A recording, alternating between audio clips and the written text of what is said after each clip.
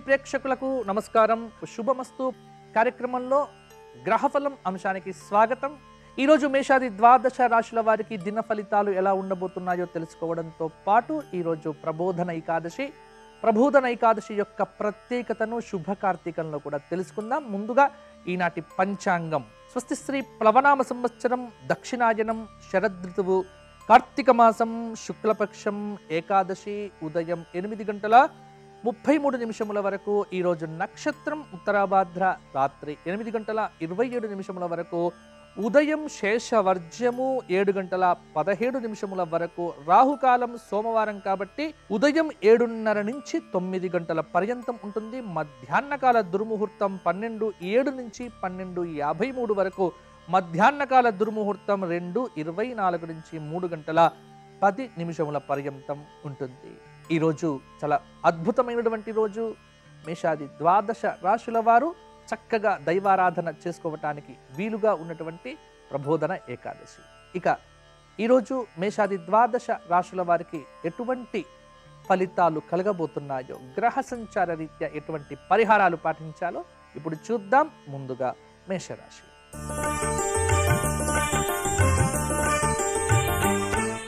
మేషరాశి వారికి ఈరోజు చేపట్టిన కార్యక్రమాలు ఏవైతే ఉన్నాయో వాటిలో కొన్ని కొన్ని ప్రతిబంధకాలు ఆటంకాలు తొలగిపోతాయి. మనస్సు స్వస్థతగా ఉంటుంది. ఆనందదాయకంగా ఆలోచనలు కొనసాగింపు చేస్తారు చిన్న చిన్న చికాకులు వచ్చినప్పటికీ కూడా మీదైన శైలిలో వాటికి పరిష్కారాలు కనుగొనేటువంటి ప్రయత్నాలు కూడా మొదలు పెడతారు. ఆలోచనలు స్థిరంగా ఉండకపోవచ్చు. కానీ అమలు చేసేటువంటి విధానంలో తగినంత శ్రద్ధ తీసుకోవడం చాలా వరకు అవసరము. గత సంఘటనలు ఏవైతే ఉన్నాయో గత కాలంలో జరిగినటువంటి అనుభవాలు ఏవైతే ఉన్నాయో అవి జ్ఞప్తికి వస్తూ ఉంటాయి. పాత సంఘటనలు పాత అనుభవాలు పాత మిత్రులు ఇలా వాటితో ఈ రోజంతా కూడా గడిచిపోతుంది. గృహ నిర్మాణానికి సంబంధించినటువంటి పని ఆగిపోవటం పట్ల అసంతృప్తి అనేటువంటిది ఉండవచ్చు. అయితే ఒకానొక వార్త మీకు చాలా మధురముగా ఈరోజు ఉండబోతోంది. కొన్ని కొన్ని ఆరోగ్యపరమైనటువంటి సమస్యల మీద తప్పకుండా వైద్యుడి యొక్క సలహాను స్వీకరించడానికి ఈరోజు మంచి రోజు అని చెప్పవచ్చు. వ్యాపారపరంగా స్వల్ప లాభాలు మాత్రమే కనిపిస్తూ ఉన్నాయి. ఉద్యోగులకు ఆటంకాలు తప్పకపోవచ్చు. ఉద్యోగులకు మరిన్ని బాధ్యతలు కూడా పెరగవచ్చు. విద్యార్థిని విద్యార్థులు కాస్త జాగ్రత్తగా ఉండవలసినటువంటి రోజు ఈరోజు రాజకీయ నాయకులకు మధ్యస్థంగానే ఉంటుంది. మరిన్ని మంచి ఫలితాలు పొందటం కోసం మేషరాశి వారు ఈరోజు విష్ణు సహస్రనామ స్తోత్రంతో స్వామివారికి ఆరాధన చేయండి. సాయంకాల సంధ్యా సమయంలో వెంకటేశ్వర స్వామి ఆలయంలో దీపారాధన చేయండి. సత్ఫలితాలు పొందుతారు. మేషరాశి వారి అదృష్ట సంఖ్య మూడు. మేషరాశి వారి అదృష్ట వర్ణము తెలుపు.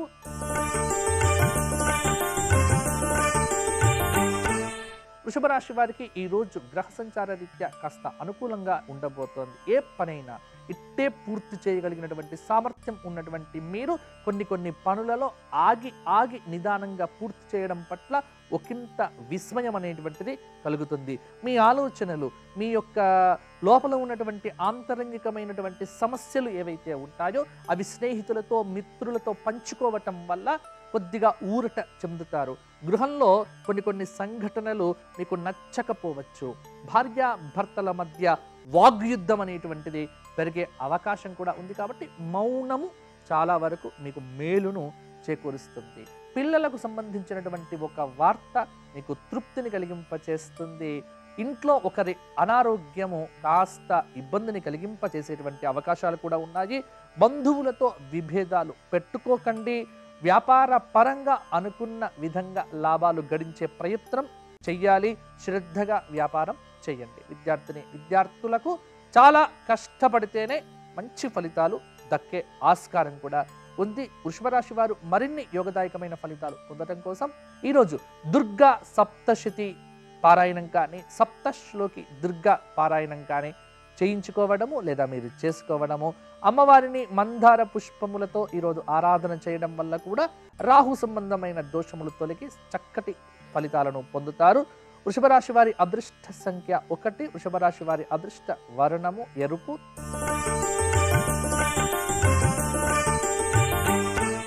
మిథున రాశి వారికి ఈరోజు మిశ్రమమైనటువంటి కాలము అని చెప్పవచ్చు. మానసిక ఒత్తిడి విపరీతంగా పెరగటము కాస్త శారీరకంగా కూడా ఆరోగ్యపరంగా కొన్ని కొన్ని సమస్యలు రావటంతో ఈరోజు ఉదయం అంతా కూడా భారంగానే గడిచిపోతుంది. శిరోవేదన చాలా వరకు మీకు ఉక్కిరి బిక్కిరి చేసే అవకాశం కూడా ఉంది. అయితే కొన్ని కొన్ని సమస్యలు రావటం వాటిని తేలికగా మీదైనటువంటి శైలిలో పరిష్కారం చేసుకునేటువంటి దిశగా చొరవ చూపించడానికి ఓపిక చాలా వరకు కూడా అవసరం అవుతుంది. కొత్త వ్యక్తులతో పరిచయాలు చాలా జాగ్రత్తగా ఉండండి. పలుకుబడి కలిగినటువంటి వ్యక్తులతో సంబంధాలు మాటామంతి కలుపుకుంటారు. కొన్ని కొన్ని అవరోధాలు ఏవైతే వృత్తిపరంగా వ్యాపారపరంగా ఉద్యోగపరంగా వస్తూ ఉన్నాయో వాటిని తొలగించుకునేటువంటి ప్రయత్నాలు కూడా చేస్తారు. సోదరులతో సోదరీమణులతో వ్యక్తిత్వ విషయాలు చర్చించకుండా విభేదాలు రాకుండా చాలా జాగ్రత్తగా ఉండండి. అనుబంధాలు ఆప్యాయతలు పెంచుకునేటువంటి దిశగా మాటలు కలుపుకునేటువంటి ప్రయత్నాలు చేయండి విద్యార్థిని విద్యార్థులకు బాగుంటుంది. మిథున రాశి వారు ఈరోజు సానుకూలమైన ఫలితాలు పొందటం కోసము ప్రబోధన ఏకాదశి కాబట్టి సాయంకాలం వరకు నక్తోపవాసం చేసి ఈరోజు సాయంకాల ప్రదోష కాలంలో విష్ణు ఆరాధన చేసి విష్ణువుకు అష్టోత్తరంతో పూజ చేసి తులసి దళములతో ఆరాధన చేసి విష్ణు పంజర స్తోత్ర పారాయణం చేయండి. మంచి ఫలితాలు పొందుతారు. మిథున రాశి వారి అదృష్ట సంఖ్య ఐదు. మిథున రాశి వారి అదృష్ట వర్ణము ఆకుపచ్చ.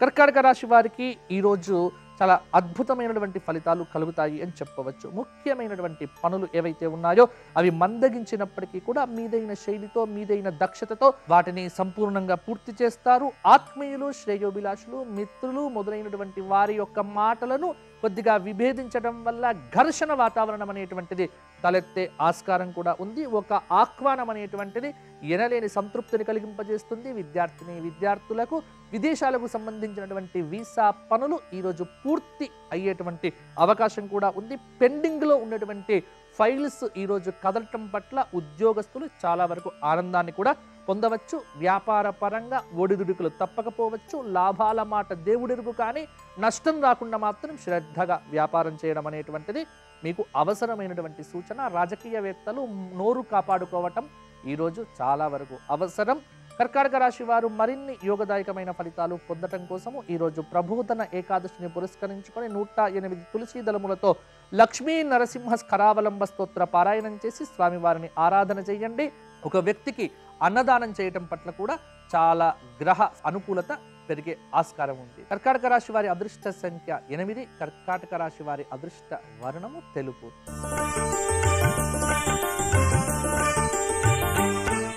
సింహరాశి వారు అనుకున్న పనులు అనుకున్న సమయానికి అనుకున్నట్టుగానే ఈరోజు పూర్తి చేస్తారు. ఒక ప్రణాళికాబద్ధంగా ముందుకు వెళ్ళటం వల్ల అనేక వ్యవహారములలో విజయ ప్రాప్తి అనేటువంటిది మీకు కలగబోతోంది. ఒక వ్యవహారాన్ని ఆచితూచి పూర్తి చేసేటువంటి విధంగా దాని పట్ల ముందుకు వెళ్తారు. వ్యాపార పరంగా కొన్ని ఒడిదుడుకులు ఉన్నప్పటికీ కూడా అధిగమించి ముందుకు వెళ్తారు. విద్యార్థులకు కోరుకున్నటువంటి అవకాశాలు ఈరోజు దక్కే ఆస్కారం కూడా ఉంది. వాహనాలు ఆభరణాలు కొంటారు సింహరాశి స్త్రీలు ఉత్సాహంగా ఉంటారు. పండుగ వాతావరణం అనేటువంటిది ఇంట్లో నెలకొంటుంది. దూర ప్రాంతాల నుంచి కొన్ని కొన్ని శుభవార్తలు కూడా వింటారు. ఆరోగ్యపరమైనటువంటి సమస్యలన్నీ కూడా తీరిపోతాయి. వ్యాపార పరంగా కొత్త పెట్టుబడులకు ఇది అనుకూలత లేనటువంటి సమయము. సింహరాశి వారు మరిన్ని మంచి ఫలితాలు పొందడం కోసము ఈరోజు సోమవారము శివాలయంకు వెళ్ళండి. శివ అష్టోత్తరంతో స్వామివారిని ఆరాధన చెయ్యండి. నందీశ్వరుడిని శివుడిని బిల్వదళములతో ఆరాధన చెయ్యండి. ప్రదోషకాలం వరకు నక్తోపవాసం చేయండి చాలా మంచి ఫలితాలు పొందుతారు. సింహరాశి వారికి అదృష్ట సంఖ్య నాలుగు. సింహరాశి వారి అదృష్ట వర్ణము తెలుపు.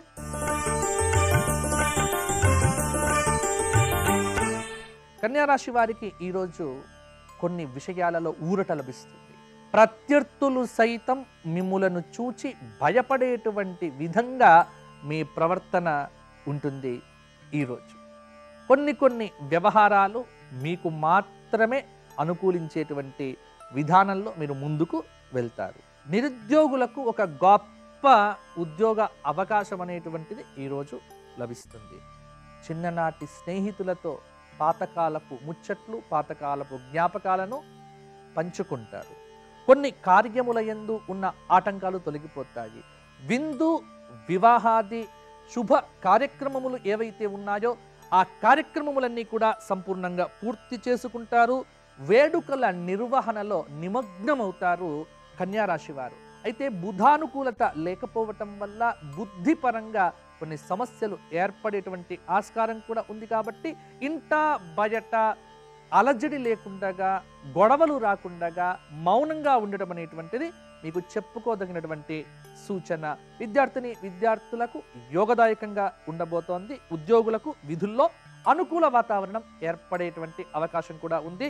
కన్యారాశి వారు మరిన్ని యోగదాయకమైన ఫలితాలు పొందటం కోసము గణపతి సహస్రనామ స్తోత్ర పారాయణము ఈరోజు ఉదయం చేయడము సాయంకాలము ఏకాదశిని పురస్కరించుకొని విష్ణు ఆలయంలో విష్ణు సహస్రనామ స్తోత్ర పారాయణం చేయడం కూడా చాలా వరకు మంచి ఫలితాలను ఇవ్వవచ్చు. కన్యారాశి వారి అదృష్ట సంఖ్య ఐదు కన్యారాశి వారికి అదృష్ట వర్ణము ఆకుపచ్చ.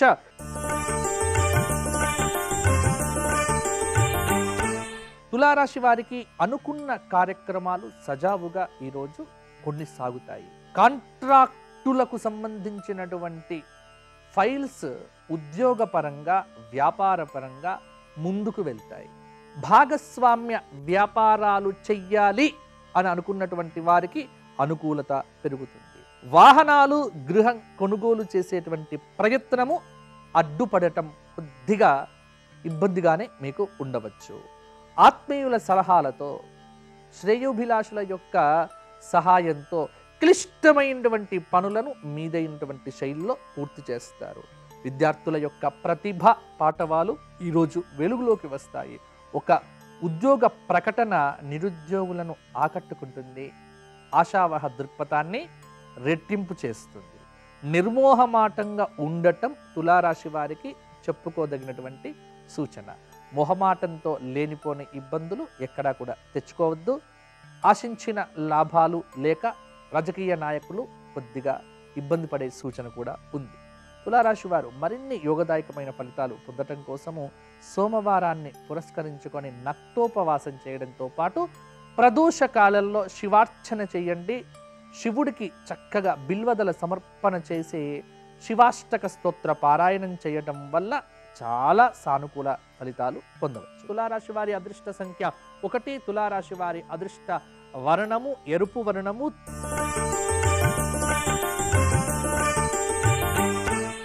వృశ్చిక రాశి వారికి ఒక ముఖ్యమైనటువంటి కార్యక్రమానికి సంబంధించిన ఒక ఒప్పందము ఈరోజు జరుగుతుంది. వ్యాపార పరంగా ఆశించిన లాభాలు పొందుతారు.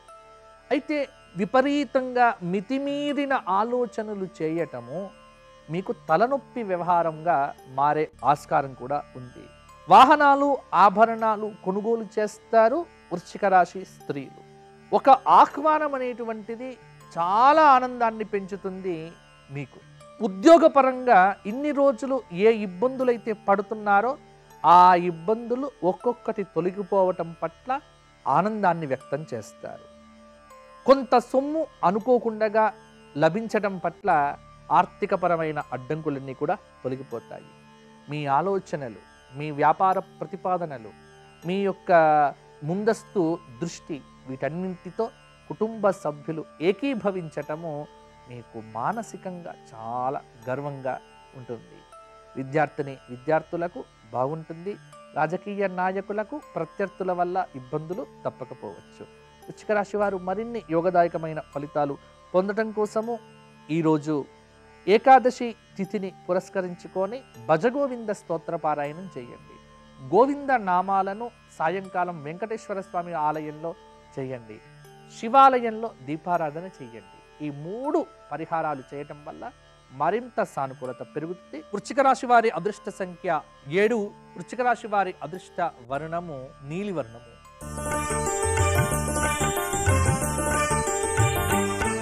ధనుసు రాశి వారికి పట్టుదల. చాకచక్యం. ఈ రెండు గుణాల వల్ల చాలా సమస్యలు ఏవైతే ఉన్నాయో తొలగిపోతాయి. వృత్తి ఉద్యోగ వ్యాపార ఈ మూడు రంగాల్లో ఉన్నటువంటి వ్యక్తులు సహజ సిద్ధమైనటువంటి తమ పట్టుదలతో క్లిష్టమైనటువంటి బాధ్యతలను అతి తేలికగా పూర్తి చేస్తారు. నిరుద్యోగుల యొక్క యత్నాలు ఫలించే ఆస్కారం కూడా ఉంది. ఉద్యోగపరంగా అడ్డంకులు ఉండకపోవచ్చు అయితే అదనపు బాధ్యతలు తప్పకపోవచ్చు. వ్యాపారస్తులకు లాభాలు పెరగవచ్చు. చిన్న చిన్న పనులు కుంటుపడతాయి. ధనుస్సు రాశి వారు మరిన్ని మంచి ఫలితాలు పొందడం కోసం ఈరోజు సోమవారాన్ని పురస్కరించుకొని నక్తోపవాసం చేయండి. సాయంకాల సంధ్యా సమయంలో శివ అష్టోత్తరంతో శివాలయంలో ఆరాధన చెయ్యండి దీపదానం చెయ్యండి ఈరోజు దీపదానం చేయటం వల్ల చాలా మంచి ఫలితాలు పొందుతారు. ధనుసు రాశి వారి యొక్క అదృష్ట సంఖ్య ఆరు. ధనుసు రాశి వారి అదృష్ట వర్ణము తెలుపు.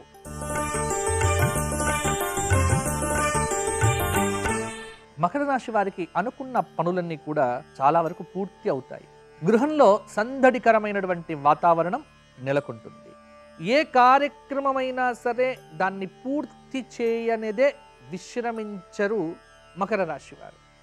అందుకే ఒక కార్యక్రమానికి పూనుకుంటారు అది పూర్తయ్యేదాకా మీరు దాని మీదే నిమగ్నం అవుతారు ఈరోజు ఒక ముఖ్యమైనటువంటి వ్యవహారము మిమ్మల్ని చాలా ఇబ్బంది పెట్టేటువంటి అవకాశాలు కూడా ఉన్నాయి. అయితే మీ మొండి పట్టుదల ఏదైతే ఉందో ఆ మొండి పట్టుదలతో చాలా సమస్యలను పరిష్కారం చేసుకుంటారు. నిరుద్యోగులకు ఉద్యోగ అవకాశాలు చాలా పెరుగుతాయి. అవివాహితులకు శీఘ్ర వివాహ సిద్ధి అనేటువంటిది ఈరోజు కూడా సిద్ధించబోతోంది. కుటుంబ సభ్యుల యొక్క సలహాలు సూచనలు స్వీకరించి ఉన్నతమైనటువంటి ఆశయంతో సేవా దృక్పథంతో కార్యక్రమాలు చేపడతారు ఉద్యోగస్తులు మొదలైనటువంటి వారు. మొత్తానికి మకర రాశి వారికి అందరితో సఖ్యత పెరుగుతుంది లాభాలు కలుగుతాయి. అవాంతరాలు అధిగమిస్తారు. మరిన్ని మంచి ఫలితాలు పొందటం కోసం వెంకటేశ్వర సహస్రనామ స్తోత్ర పారాయణం ఈరోజు శివాలయంలో కూర్చొని చెయ్యండి వెంకటేశ్వర భగవానుడికి ఒక మంచి నారికేలాన్ని సమర్పణం చేయండి. మకర రాశి వారి అదృష్ట సంఖ్య ఒకటి మకర రాశి వారి అదృష్ట వర్ణము నలుపు.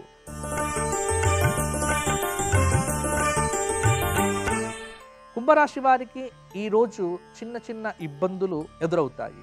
కానీ కొన్ని అనుకూల ఫలితాలు కూడా ఈరోజు కలుగుతాయి. నిరుద్యోగులకు మాత్రము శుభవార్త శ్రవణము చాలా తృప్తిని కలిగింపజేస్తుంది.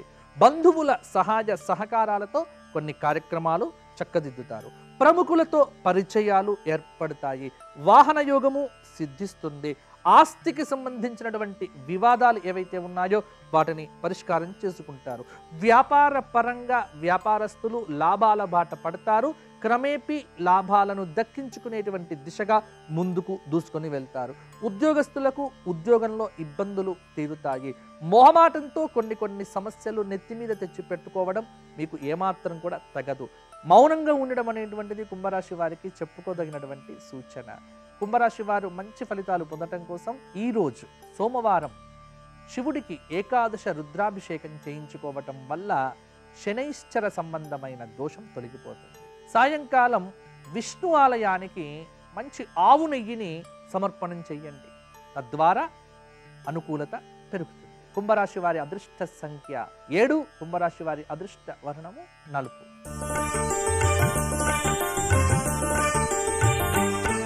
మీనరాశి వారు ఈరోజు గ్రహచార రీత్యా కొన్ని క్లిష్టమైనటువంటి పనులను చాలా సులభంగానే తమ అనుకూలంగా ఉండటం కోసం కూడా సాధించుకుంటారు.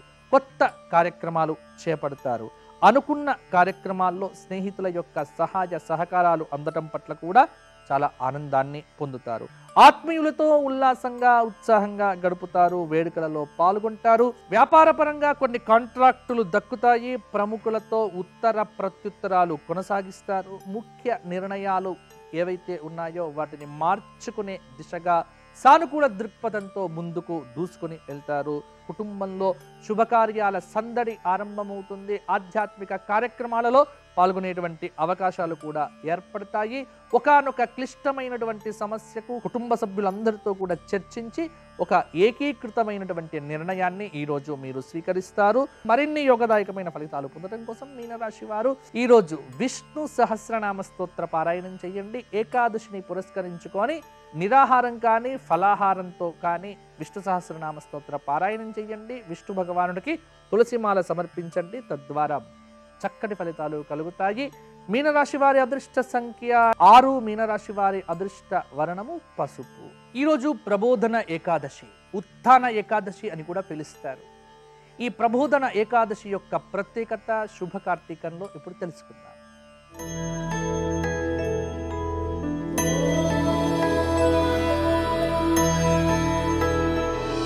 కార్తీక శుద్ధ ఏకాదశిని ప్రబోధిని ఏకాదశి ఉత్థాన ఏకాదశి అని పిలుస్తారు. ఈరోజు ప్రధానంగా మహావిష్ణువును ఆరాధన చెయ్యాలి. ఈ ఏకాదశి నుండి మొదలుపెట్టి ఐదు రోజుల పాటు భీష్మ పంచక వ్రతం చేసే సంప్రదాయం కూడా ఉంది. ఈరోజు ఉపవాసం తులసి దళములతో విష్ణు ఆరాధన విష్ణు సహస్రనామ స్తోత్ర పఠనం అంబరీషోపాఖ్యాన పఠనం శివపంచాక్షరి జప మంత్ర అనుష్ఠానం నూట ఎనిమిది సార్లు ఇటువంటివి చేయటం విశేష ఫలితాలను కలిగిస్తాయి. గురువు దగ్గర మంత్ర ఉపదేశాన్ని పొందటానికి ఈ ఏకాదశి చాలా అనుకూలతను ఇస్తుంది. శ్రీ సూక్తం పురుష సూక్తాలతో లక్ష్మీనారాయణుల అభిషేకం పూజాధికాలు ఈరోజు విశేష ఫలదాయకం అని చెప్పవచ్చు. వైకుంఠంలో విష్ణుమూర్తి నిద్ర నుండి మేల్కొనేటువంటి ఏకాదశి ఈ కారణంతో ఈ తిథిని ఉత్థాన ఏకాదశి అనే పేరుతో పిలుస్తారు. చాతుర్మాస్య వ్రతం అనేటువంటిది కొద్దిమందికి నేటితో ముగుస్తుంది. తులసి మొక్క దగ్గర నేటి సాయంత్రం ఐదు వత్తులతో దీపారాధన చేయటం వల్ల తులసి అనుగ్రహం పరిపూర్ణంగా కలుగుతుంది. ఈరోజు మహావిష్ణువుకు క్షీరాన్నాన్ని నివేదన చేయటం కూడా సత్ఫలితాలను ఇస్తుంది. మీ అందరికీ విష్ణు భగవానుడి యొక్క కృప పరిపూర్ణంగా ఉండాలి అని ప్రతి ఒక్కరికి ఉత్థాన ఏకాదశి శుభాకాంక్షలు శుభాశిస్సులు తెలియజేస్తూ స్వస్తి.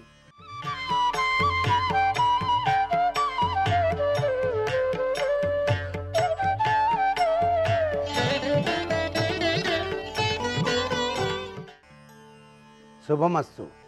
కార్యక్రమంలో గృహబలం అంశానికి స్వాగతం. కార్తీక మాసంలో అత్యంత విశిష్టవంతమైన సుదినం ఈరోజు ప్రబోధిని ఏకాదశి. శ్రీమన్నారాయణమూర్తి నాలుగు నెలల పాటు విశ్రాంతి సమాప్తి సూచకంగా కార్తీక శుక్ల ఏకాదశిని దేవోత్థాని ఏకాదశిగా అందరూ కూడాను ఆచరిస్తారు. చక్కటి పర్వదినంగా కూడాను భావిస్తారు. దీనినే ప్రబోధిని ఏకాదశి అంటాం. ఉత్తాన ఏకాదశి. విష్ణు భగవానుడు నాలుగు నెలల పాటు క్షీరసాగరంలో శేషతల్పసాయిగా నిద్రించి ఈ ఏకాదశి రోజున మేలుకొంటాడు అని చెప్పేసి విశ్వాసం. ఈ నాలుగు నెలల వ్యవధిలోనే శుభకార్యాలు కూడా చేయరు. అందుచేత ఈరోజు విష్ణాలయాన్ని సందర్శించడంతో పాటుగా విష్ణుదేవునికి ప్రీతికరమైనటువంటి తులసి దండను స్వామికి సమర్పించి లక్ష తులసి అర్చన అనేటువంటిది కూడాను నిర్వహించడం వల్ల జన్మ జన్మాంతరాల పాపాలన్నీ కూడా పటాపంచలైపోతాయి అని చెప్పేసి శాస్త్రం. అంతేకాకుండా ఈ రోజున శాఖాదానం కనుక ఎవరికైనా సరే సమర్పించినట్లయితే అన్నానికి లోటు లేని జీవన విధానాన్ని ఆ యొక్క నీరజాక్షుడు ప్రసాదిస్తాడు అని శాస్త్రం. ఏది ఏమైనప్పటికీ జన్మ జన్మాంతరాల పాపాల నుంచి రక్షింపజేసుకునేటువంటి ఈ కార్తీక మాసంలో ఏకాదశి ఉపవాసం ఉండి తెల్లవార్లు కూడాను హరినామ సంకీర్తన గావించి మరుసటి రోజు క్షీరాబ్ది ద్వాదశి నాడు లక్ష్మీదేవిని విష్ణుమూర్తిని అర్చన చేసినట్లయితే సర్వవిధ సంపత్తులు కూడాను వచ్చి తీరుతాయి. కార్తీక శుద్ధ ఏకాదశి నాడు మహావిష్ణువు నిద్ర నుంచి మేల్కొంటాడని పురాణ కథ ఉంది కాబట్టి మరుసటి రోజున శుద్ధ ద్వాదశి నాడు తులసి పూజ శ్రీ మహావిష్ణువుతో కూడే తులసి కళ్యాణం నిర్వహించడం జరుగుతుంది.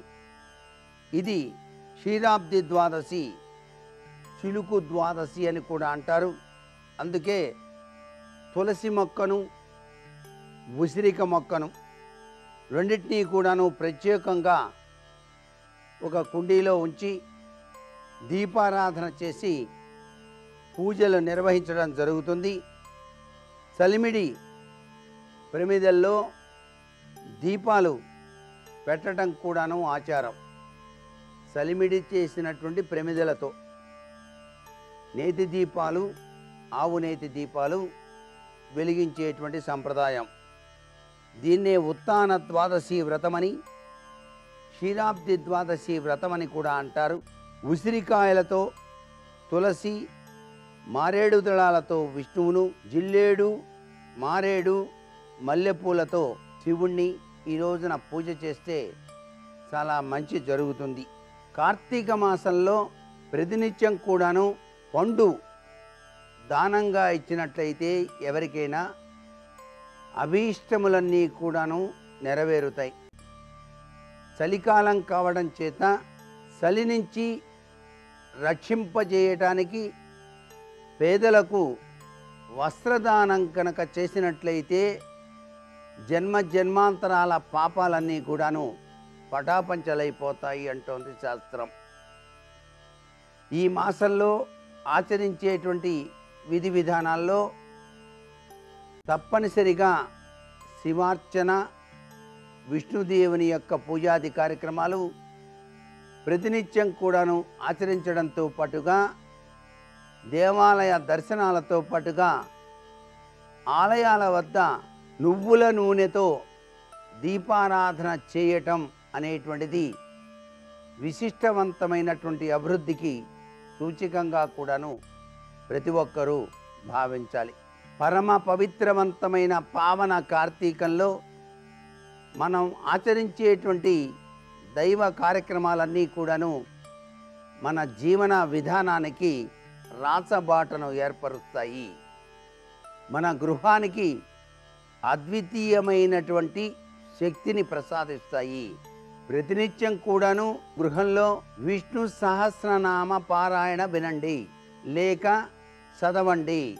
ఈ విధమైనటువంటి విధి విధానాన్ని ఎవరైతే గృహంలో నిర్వహిస్తారో వారికి పరిపూర్ణవంతమైనటువంటి గృహబలంతో పాటుగా అద్వితీయమైనటువంటి అదృష్టాన్ని ఆ శ్రీమన్నారాయణుడు ప్రసాదిస్తాడు. మరికొన్ని ముఖ్య విషయాలు రేపటి శుభమస్తు కార్యక్రమంలోని గృహబల అంశంలో తెలుసుకుందామా? సర్వే జన సుఖినో భవన్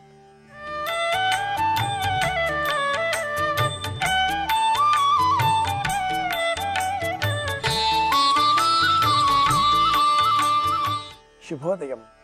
శుభమస్తు కార్యక్రమంలో కార్తీక విధులు పరిహారాలు అనే అంశానికి స్వాగతం. కార్తీక మాసంలో శుక్లపక్షంలో వచ్చే ఏకాదశి అపురూపమైనది.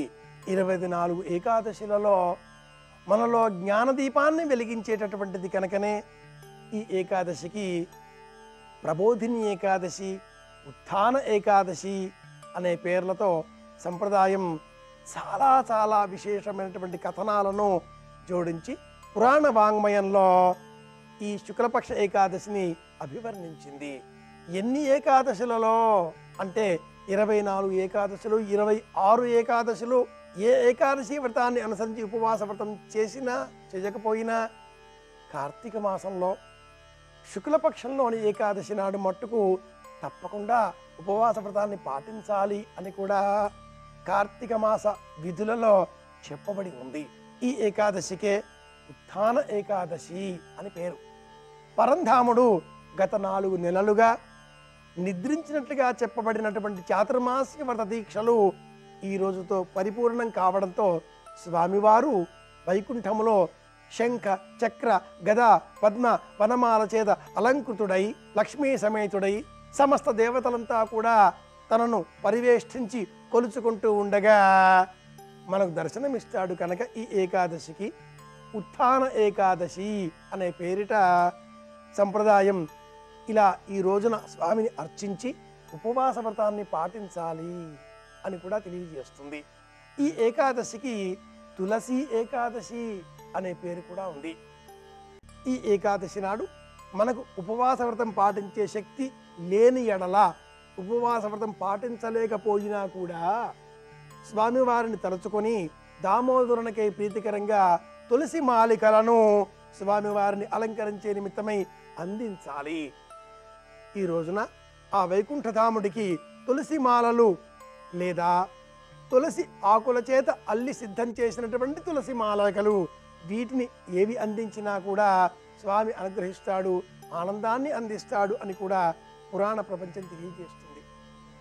విశేషంగా వరాహ పురాణాన్ని అనుసరించి ఈ ఏకాదశికి మంజుల ఏకాదశి అనే పేరు కూడా ఉంది. ఈ రోజున మౌన వ్రతం పాటించాలి అని వరాహ పురాణం తెలియజేస్తుంది.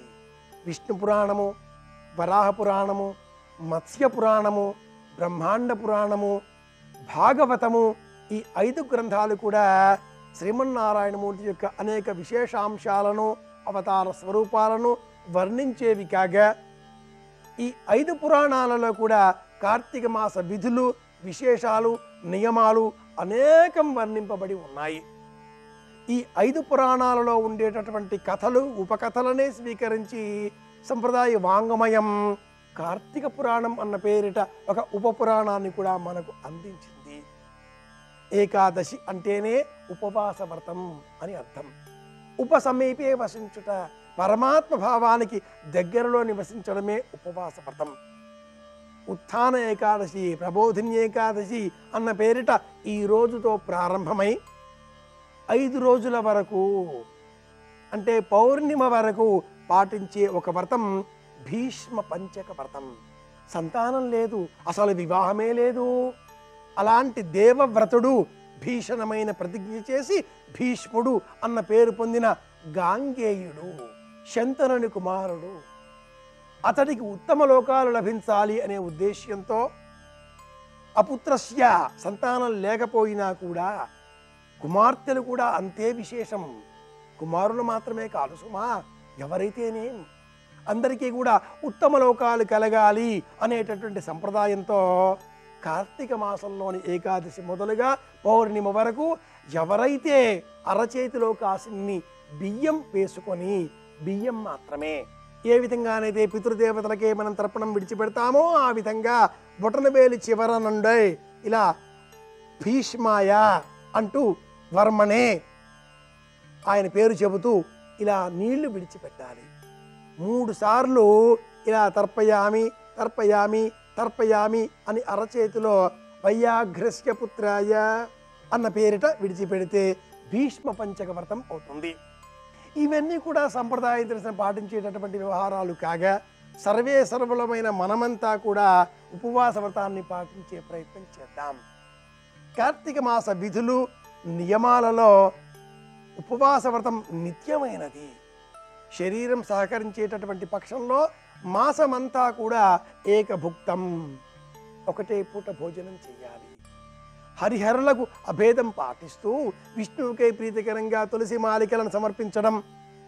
శివుడికే ప్రీతికరంగా మారేడు బిల్వ దళాల చేత అర్చించడం రెండూ కూడా సమానంగా ఆచరించేటటువంటి మాసం హరిహరులకు సంబంధించిన మాసం కార్తీక మాసం.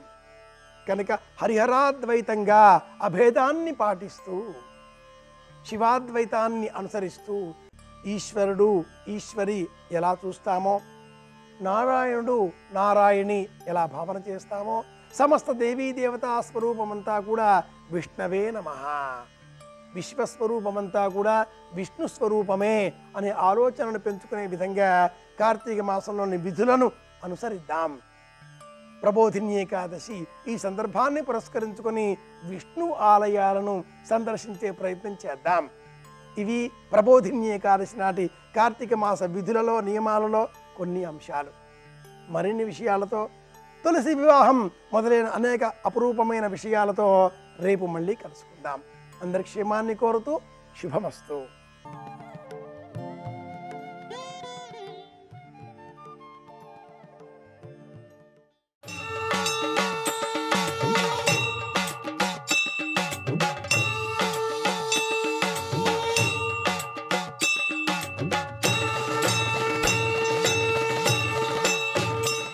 దర్శనాదభ్రసదసి చిదంబరం వెళ్ళి దర్శనం చేసుకుంటావా అలాగా? ఇక పుట్టవలసిన అవసరం లేదు. వెళ్ళు అన్నాడు. అయ్యి బాబోయ్ మీరు చెప్పారు కానండి ఇవన్నీ ఏమిటి? విష్ణువు ఏమిటి? శివుడు ఏమిటి? మారమణుడు ఏమిటి? ఉమారమణుడు ఏమిటి? దక్షిణామూర్తి ఏమిటి? శివకామసుందరం ఏమిటి? ఈ అల్లరంతా ఏమిటి? ఆకాశం ఏమిటి? కాయ ఏమిటి? అన్నిటికీ అతీతం ఏమిటి? మూడు మూర్తులు ఏమిటి? నటరాజు ఏమిటి? బ్రహ్మ ఏమిటి? విష్ణువు ఏమిటి? లయకర్త ఏమిటి? మళ్ళీ లయంలో మూడు ఏమిటి? ఏమిటి అల్లరంతా? అయ్యి బాబోయ్ మాకు జ్ఞాపకం ఉండదండి మేము చూడలేము. ఇంకో మాట ఏమైనా చెప్పండి. ఇంకొంచెం తేలిగ్గా చెప్పండి. అంటే దర్శనాథ ప్రసదసి జననాత్ కమలాలయే. కమలాలయంలో పుడితే నీకు ఇక మళ్ళీ పుట్టవలసిన అవసరం ఉండదు. అదే చివరి పుట్టుక. చివరి పుట్టుక అని గుర్తు ఏమిటంటే కమలాలయంలో పుడతావు. కమలాలయం అంటే తిరువారూరు. ద్రవిడ భాషలో అయితే తిరువారూరు అని పిలుస్తారు. కమలాలయ అన్న మాటకు అర్థం ఏంటంటే క అంటే బ్రహ్మశక్తి. మ అంటే విష్ణుశక్తి. ఈ రెండూ ఏ శక్తిని కొలుస్తున్నాయో ఆ శక్తి కమలాలయ పార్వతీదేవి. కామాక్షి పరదేవతా స్వరూపం. ఆ అమ్మవారికి కుడి చేతి వైపు సరస్వతీదేవి ఉంటుంది ఎడం చేతి వైపు లక్ష్మీదేవి ఉంటుంది. ఇద్దరూ కూడా వింజామరలు వీస్తూ ఉంటారు. కలియుగం కదూ ఎక్కడ చూసినా కుడి చేతి వైపు లక్ష్మిని ఎడం చేతి వైపు సరస్వతిని చూపిస్తూ ఉంటారు. పరమ తప్పు. కుడి చేతి వైపు సరస్వతి ఉండాలి ఎడం చేతి వైపు లక్ష్మి ఉండాలి. శంకరాచార్యులు వారు కూడా సౌందర్యలహరి చేస్తూ కమలాలయా స్వరూపాన్ని వర్ణించారు. అందుకే ఎప్పుడైనా అమ్మవారి పూజ చేస్తే కమలే కమలాలయే ప్రసీద ప్రసీద అంటుంటారు సరస్వతీ లక్ష్ముల చేత సేవింపబడుతున్నటువంటి స్వరూపం. ముత్తుస్వామి దీక్షితారు వారు ఎన్నో కీర్తనలు చేశారు అమ్మవారి మీద. తిరువారూరులో ఉన్నటువంటి పరదేవతా స్వరూపం మీద. ఆమె సరస్వత్యా లక్ష్మ్యా విధిహరి సపత్నో విహరతే అని శంకరాచార్యుల వారు ఏదో ఆయన ఎటువంటి వైభవాన్ని పొందుతాడంటేట ఆ లక్ష్మీ సరస్వతుల చేత విద్యామరలు వీయబడుతున్నటువంటి పరదేవతా స్వరూపానికి నమస్కరించినటువంటి వాడు ఆ తల్లిని భక్తితో సేవించినవాడు ఎటువంటి స్థితిని పొందుతుంటాడంటే సరస్వత్యా లక్ష్మ్యా విధిహరి సపత్నో విహరతే. ఆయన ఆ భక్తుణ్ణి చూసి చతుర్ముఖ బ్రహ్మగారు అసూయ పడతాట. ఇదేమిటి? నా భార్య కదా సరస్వతీదేవి. నాకు ఉండవలసినటువంటి సరస్వతీ విలాసం కన్నా కూడా ఎక్కువ విలాసం ఈయన ఎందుందే? ఇంత గొప్ప అనుగ్రహం సరస్వతీదేవిది ఈమెకి ఎలా వచ్చింది అనుకుంటాట. అంత గొప్ప సరస్వతీ కటాక్షం పొందుతాడు. రెండవది శ్రీ మహావిష్ణువు అనుకుంటారట లక్ష్మీ నా భార్య కదా. నేను పొందవలసిన ఐశ్వర్యం కన్నా వీడికి ఎక్కువ ఐశ్వర్యం ఉందేమిటి అని విష్ణువు తెల్లబోయేటంత ఐశ్వర్యాన్ని పొందుతట. అంటే దాని అర్థం ఏమిటి? నిజంగా ఏదో అంత ఐశ్వర్యం అంత విజ్ఞానం అని కాదు. దాని అర్థం ఏమిటంటే ముందు సరస్వతిని చెప్పారు శంకరాచార్యులు వారు. అందుకు కమలాలయ. సరస్వతి కుడి చేతి వైపు ఉంటుంది. సరస్వతి లేని లక్ష్మి భయహేతు పతనహేతు. సరస్వతీ కటాక్షం లేదనుకోండి వాడికి పది అంకులు కూడరా అన్నారనుకోండి భయం. చెక్కు రాసి సంతకం పెట్టమంటే భయం. తన ఆస్తి ఎంతుందో తెలియదు వేలిముద్ర వెయ్యాలంటే భయం.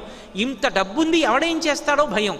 సరస్వతీ కటాక్షం ఉందనుకోండి అప్పుడు తనకి ఎంత ఉందో తను దేని మీద సంతకం పెట్టాడో తనకి తెలుసు. లేకపోతే భయం. సరస్వతీ కటాక్షం లేకపోతే దేనికి దానం చెయ్యాలో తెలియదు దేనికి దానం చేయకుండా ఉండాలో తెలియదు ఎక్కడ ఖర్చు పెట్టాలో తెలియదు ఎక్కడ ఖర్చు పెట్టకూడదో తెలియదు ఇది తెలిసి ఉండాలంటే సరస్వతీ కటాక్షం ఉండాలి. సరస్వతీ కటాక్షం ఉంటే లక్ష్మీ కటాక్షం తానే ఉంటుంది.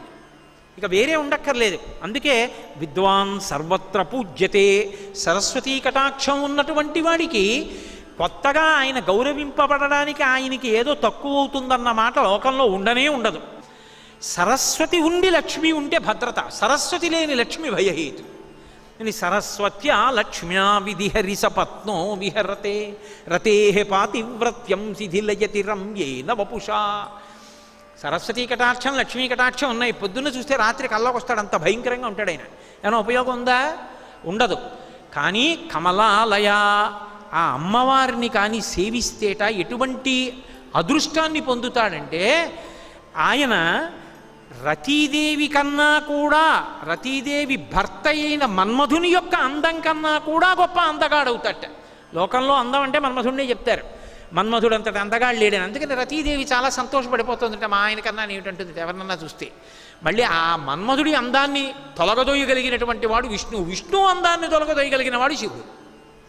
కాబట్టి నేను నేనేదో ఆధారం లేకుండా ఈ మాట అంటున్నానని మీరు అనుకోకండి. కందర్పదర్ప రసుందర దివ్యమూర్తే కాంతా కుచాంబురుహ కుట్మలలోల దృష్టే కళ్యాణ నిర్మల గుణాకర దివ్య కీర్తే అంటున్నామా వెంకటేశ్వరుణ్ణి? కందర్ప దర్ప రసుందర దివ్యమూర్తే అంటే కందర్పుడు అంటే మన్మధుడు. మన్మధుడి కన్నా అందమైనటువంటి తండ్రి. ఆయన కొడుకు ఈయన. కానీ కొడుకు బాగుంటాడా? నాన్నగారు బాగుంటారంటే? మళ్ళీ నాన్నగారే బాగుంటారంటారు ఆయనే అంత అందగాడు విష్ణువు. మన్మధుడి కన్నా అందగాడు విష్ణువు. విష్ణువు కన్నా అందగాడు శివుడు. అని ఎక్కడుందండి అంటారేమో? వన్నే ఎనుగుతోలు దుప్పటము బువ్వా కాలకూటంబు చేగిన్నే బ్రహ్మకపాలముగ్రమగు భోగే కంఠహారంబు. నిన్నీలాగున నుండియున్ తెలిసియున్ నీ పాద మూలంబునం చేర్చెన్ నారాయణుడిట్లు మానసమునం శ్రీకాళహస్తీశ్వర. నేత్రార్పణేశ్వరుడని పరమశివుడి యొక్క అందాన్ని చూసి మోహించి వెయ్యి పువ్వులతో పూజ చేస్తే శివుడు మోహం కల్పించడానికి ఓ పువ్వు తగ్గించాడు. తగ్గిస్తే విష్ణువు ఒక పువ్వు తగ్గిందని శంకరా నేను పూజలోంచి లేచిపోతాననుకున్నావా? నా కన్నులు పద్మాల్లా ఉంటాయంటారు. రామ కమలపత్రాక్ష సర్వసత్వ మనోహర రూప దక్షిణ్య సంపన్న ప్రసూత జనకాత్మజేని కదూ. నా కళ్ళు పుండరీకాల్లా ఉంటాయి పద్మాల్లా ఉంటాయని ఓ కన్ను పెకలించి పూజ చేశాడు. నేత్రార్పణేశ్వరుడిని ద్రవిడ దేశంలో క్షేత్రం. ఓ కన్నుతో పూజ చేస్తే శంకరుడు ప్రత్యక్షమై వెంటనే శ్రీ మహావిష్ణువుకి తన శరీరంలో సగభాగం ఇచ్చారు. అప్పుడు హరిహర స్వరూపం వచ్చింది. అంటే విష్ణువు కన్నా అందగాడు శివుడా కాదా? కాబట్టి లోకంలో మన్మధుడి కన్నా అందగాడు విష్ణువు విష్ణువు కన్నా అందగాడు శివుడు. కానీ రతీదేవి మన్మధుణ్ణి చూసి ఆ మా ఆయన ఎంత అందగాడో అంటుందిట. అలాంటి రతీదేవి కమలాలయని సేవించినటువంటి భక్తుడి యొక్క అందాన్ని చూసి ఏమిటో మా ఆయన కన్నా ఈయన చాలా బాగున్నారే అనుకుంటుందిట. ఒక మహాపతివ్రత అలా అనుకుంటుందా ఎక్కడైనా? మా ఆయన కన్నా ఆయన చాలా బాగున్నారు అనుకుంటుంది అలా అనుకుంటే మరి శీలం పతనం అవలా? రతేహ పాతివ్రత్యం శిథిలయతి రమ్యేన వపుష రతీదేవి యొక్క పాతివ్రత్యం శిథిలమైంది అలా అనుకోవడం వల్ల. అలా అనుకునేంత అందగాడు అవుతాట ఎప్పుడు? కమలాలయ. తిరువారూరులో అమ్మవారిని పూజ చేస్తే. అందుకని ఆవిడ కమలాలయ.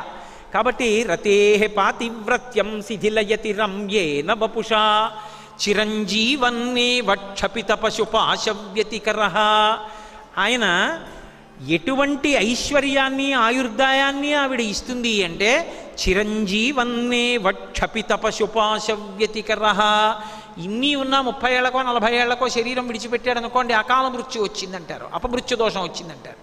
కాదు చిరంజీవ ఆయుర్దాయం ఎంత ఉండాలో కలియుగంలో అయితే నూరేళ్ళు బతికుంటాడు. బతికుండి సుఖాలు భోగాలు అనుభవించడమా? కాదు క్షపిత పశుపాశవ్యతికర తన పశుత్వాన్ని పోగొట్టుకుంటాడు. భక్తితో కర్మాచరణ చేసి చేసి చేసి చేసి జ్ఞానాన్ని పొంది ఆ జ్ఞానము వలన ఇక మళ్ళీ పుట్టవలసిన అవసరం లేకుండా పశుపతి ఎందు కలిసిపోతాడు. ఇన్ని ఇచ్చేది ఎక్కడిస్తుంది అంటే కమలాలయ అటు లక్ష్మి ఇటు సరస్వతి సేవించేటటువంటి తిరువారూరులో ఉన్నటువంటి అమ్మవారి క్షేత్రమైన కమలాలయం. అక్కడ పుడతావా? కమలాలయ ఆవిడ పద్మముల కోనేటిలో ఆవిర్భవించింది. అందుకని ఆవిడికి కమలాలయ అని పేరు. అక్కడ ఉన్నటువంటి శివుడి పేరు త్యాగరాజస్వామి. అలా ఎక్కడా ఉండదు లోకంలో. ఒక్క తిరువారూరులో ఉన్నటువంటి స్వామికి త్యాగరాజు అని పేరు. త్యాగరాజు అంటే ఆ శివలింగానికి ఉన్నటువంటి పేరే సంగీతత్రయంలో ఒకరైనటువంటి త్యాగరాజస్వామి వారికి వారి తల్లిదండ్రులు పేరు పెట్టుకున్నారు. త్యాగరాజు అన్న మాటకు అర్థం ఏమిటంటే భిక్షీశ్వరుడు అని అర్థం. భిక్షాటనమూర్తి అని పరమశివుని యొక్క లీలాస్వరూపాల్లో ఒకటి. ఎవరు భిక్షాటనమూర్తిగా నిలబడతాడో వాడే త్యాగరాజు. నమ శివాయ. శివాయ. శివాయ.